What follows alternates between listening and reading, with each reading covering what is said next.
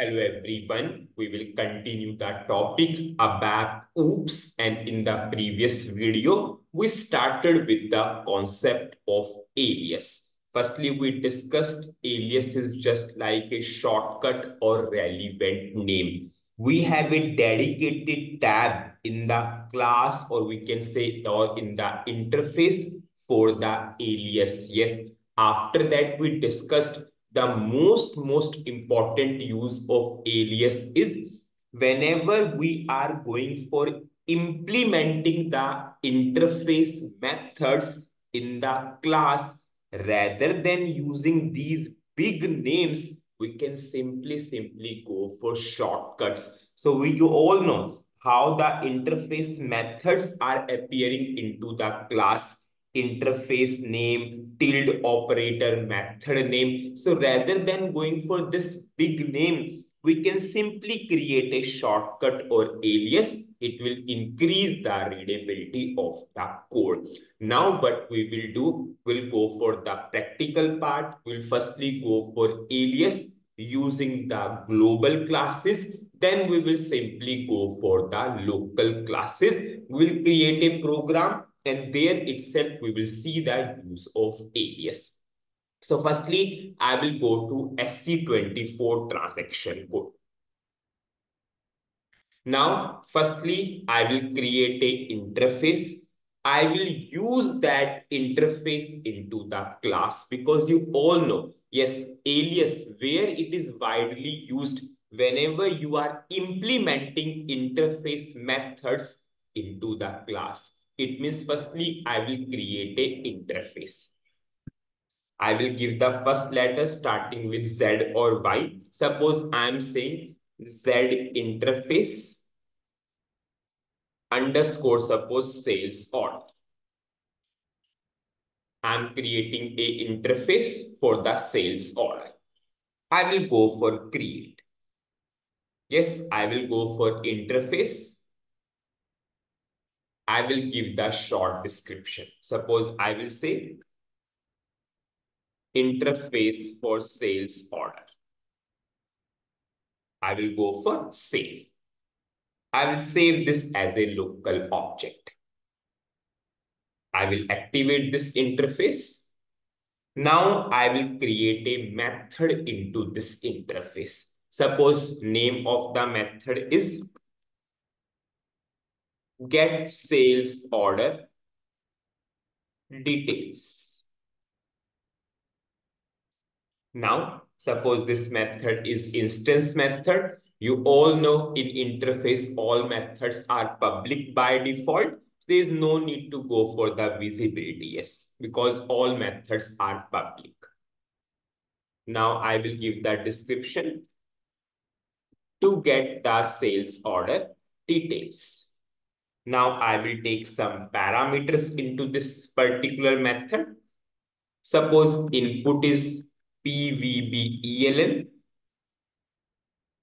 Suppose this is your importing and you all know data element for VBELN is VBELN underscore VA. You can simply open the table and copy paste from there also. Suppose if I will go for SE11 transaction code,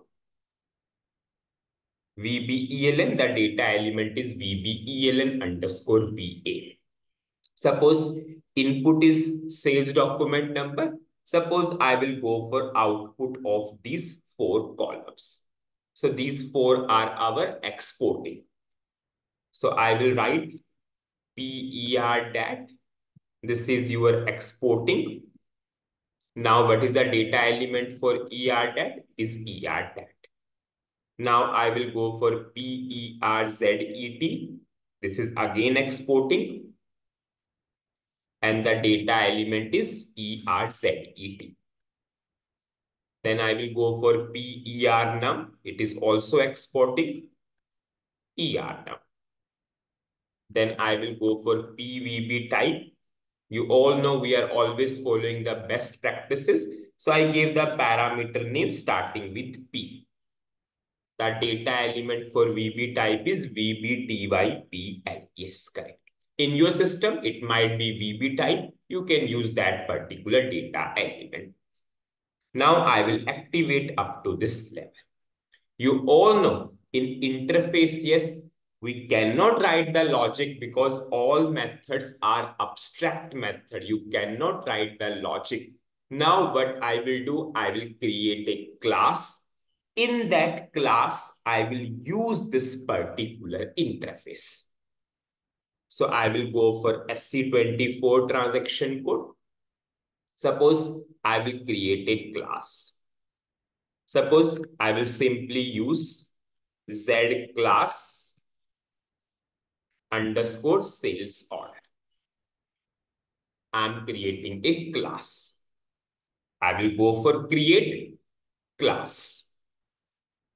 Suppose I will write class for sales order details.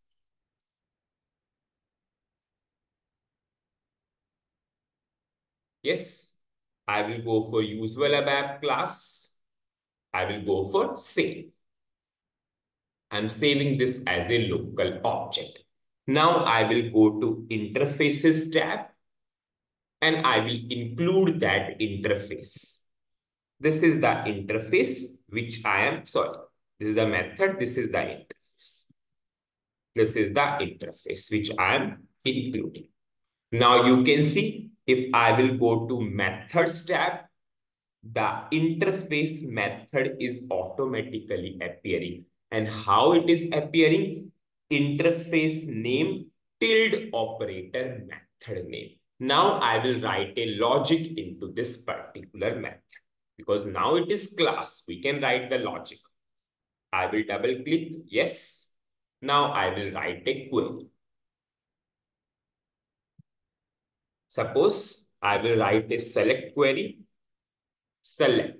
Yes, I will go for single because you all know whenever you are going for sales order number, at a time we are passing single sales order number. So whenever you will go for single sales order number, you will get a single record because the input to this particular method is parameter. Parameter means we'll go for single entry. Whenever you will go for single entry, yes, single input, you will get a single record from VBAK table. So I'm writing select single. I'm going for fetching details of four columns, ERDAT, ERZET, ERNAM, VB type. If you want to select into internal table, if you want to select into work, it is totally your wish from VBAK into. Now I will go for four exporting columns. What are those four exporting variables? This is your PER dat, PERZET, PERNAM, PVB now we will go for where condition, where VBELN is equal to PVBELN. Now I will check the syntax and now I will go for activation. Now I'm activating this whole class.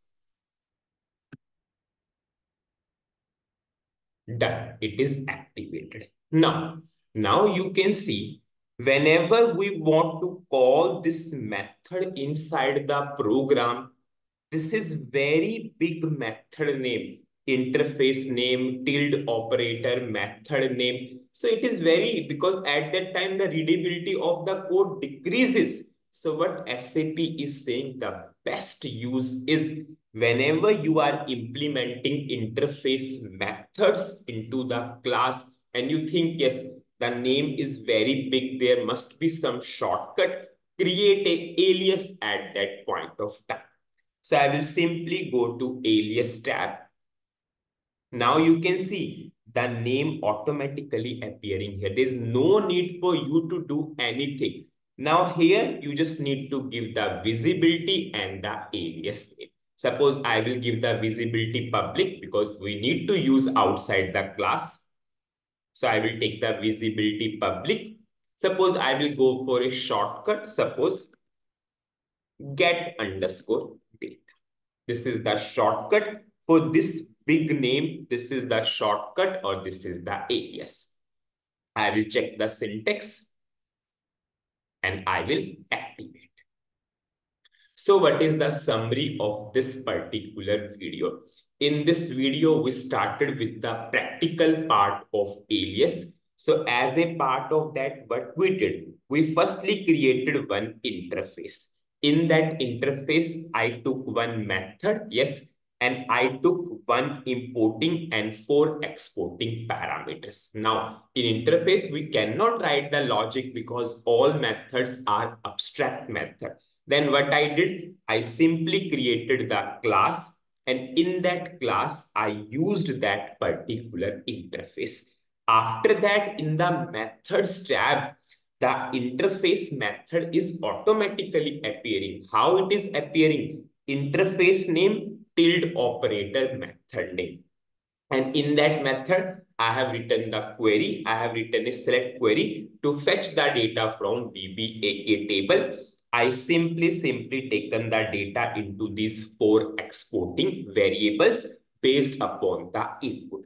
Now, whenever we will use this particular method out in the program or outside the class, we need to call this particular method. This is a very big name and it decreases the readability of the code. Then what SAP is saying, yes, this is widely, widely used of the alias. Rather than going for this big name, simply create a alias. In the alias tab, we are automatically getting the interface name tilde operator method name. We passed the visibility and we took a shortcut. The shortcut is get underscore data. Now you can see type here. If I will go for type, it is simply saying this is a method. For this method, we are creating this particular alias. This is a method and we are creating a alias this for this particular method.